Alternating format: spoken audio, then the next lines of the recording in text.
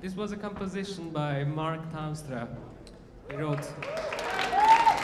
And uh, the song is called For Zoumana. Uh, it was a couple of years back. Uh, I had something, and uh, there was a project.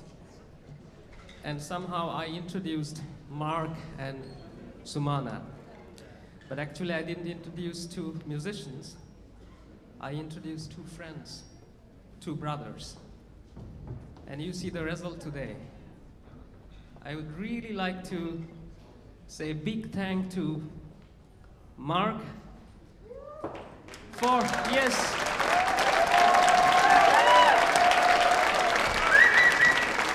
I feel so humble. This man took the initiative and he proved that this is what friends are for. And this is our small expression of our love to Zoumana, that all these great musicians are here tonight. And the next uh, request to Zoo, I don't, I don't know, I'm sure he'll be watching this video. Oh, he's listening. He used to call me Nettie all the time. Make sure, Zoo, you are going to be the next guest for Nordanians, so get well soon.